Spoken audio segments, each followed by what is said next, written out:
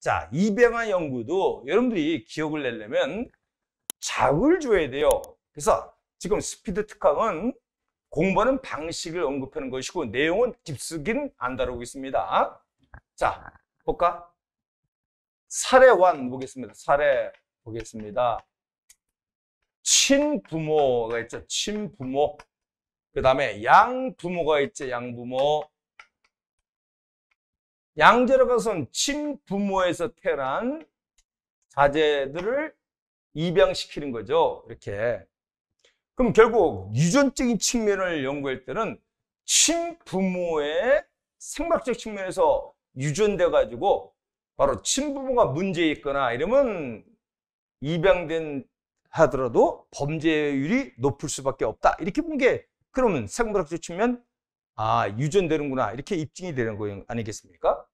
반면 친부모가 올바르게 가정이 그런 집안에서 바로 어려운 환경 속에서 힘들게 살다 보니까 자식들이 많다 보니까 양부모에게 입양시킬 때 그런 애들은 범죄율이 적더라 이렇게 연구하는 것이 바로 입양자 연구입니다. 그 다음에 만약에 친부모도 마이너스 나쁜 짓을 만약에 범죄 양부모도 마이너스면 가장 이것이 범죄율이 많이 발생한다 이렇게 본 겁니다. 자 입양 연구 때입 하면 입으로 술을 먹잖아요. 우리가 여름철날 너무 더우면 가장 시원한 술이 뭐가 있습니까? 맥주죠 맥주.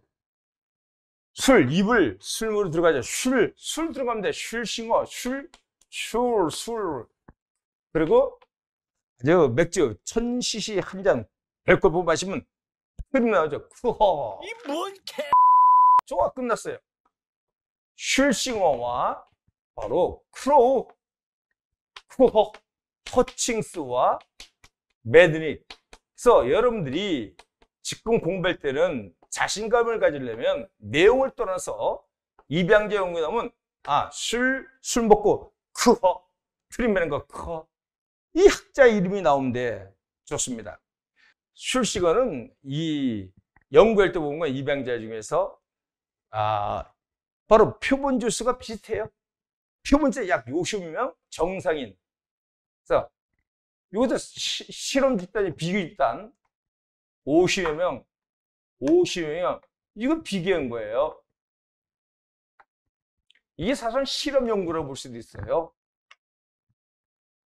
또는 표본 집단 조사 연구라고 볼 수도 있고요.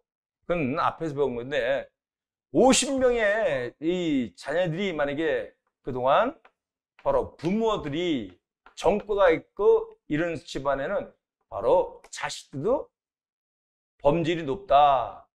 근데 정상으로 착하게 사는 50명의 부모로부터 친부모가 이럴 때는 바로 범죄율이 적더라 자식들이 이렇게 연구한 게 단순하게 본 게 슐싱하고 반면 크로우는 엄마를 연구했어 친모 다만 53명 친모 53명. 무슨 얘기냐? 친모가 53명은 전과자고 전과자.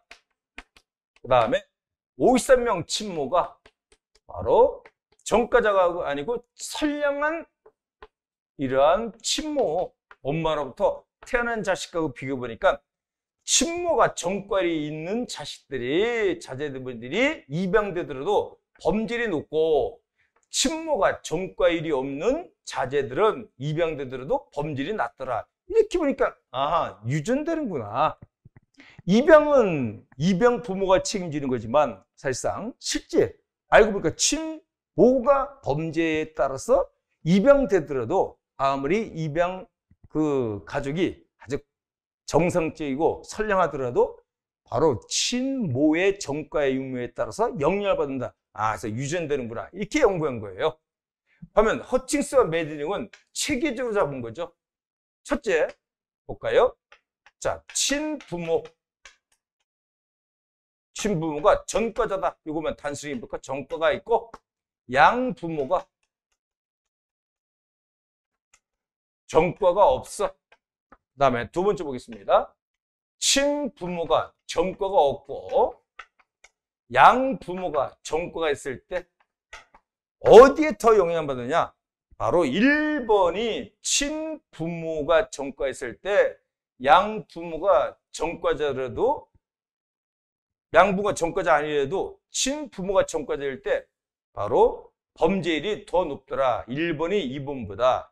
반면 세 번째 보겠습니다. 친부모도 전과자고 양 부모도 전과자일 때 그럼 양육할 때도 영향받으니까 이것이 범죄율이 가장 높더라. 그래서 가장 범죄율이 높은 것은 3번, 그 다음에 1번, 그 다음에 2번. 이런 식으로 바로 입증해낸 게 그러다 보니까 여, 유전되는구나. 이렇게 입증한 게 바로 허칭스와 매딩이다. 이 정도 하시면 되겠습니다. 입양자 연구도 문제점을 비판한다면 친부모가 뭐 전과율이 높고 이래서 자식들이 꼭 입양된 애들이 삐뚤어지는 게 아니고 바로 입양 부모가 어떻게 얘를 약, 양육하고 해냐에 따라서 바뀔 수도 있다는 것